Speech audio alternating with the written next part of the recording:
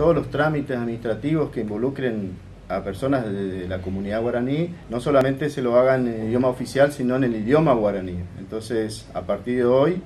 por directiva de la Jefatura de Policía, están presentes acá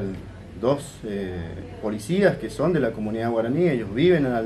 en, la aldea Perutí de, del Alcázar, entonces ellos van a oficiar de intérpretes, es más, ya empezamos a trabajar con el tema de los modelos de las células y, bueno, siguiendo las directivas y dando cumplimiento a esa directiva. Es un paso muy importante para toda la comunidad de la provincia porque la mayoría de las personas que viven dentro de la comunidad,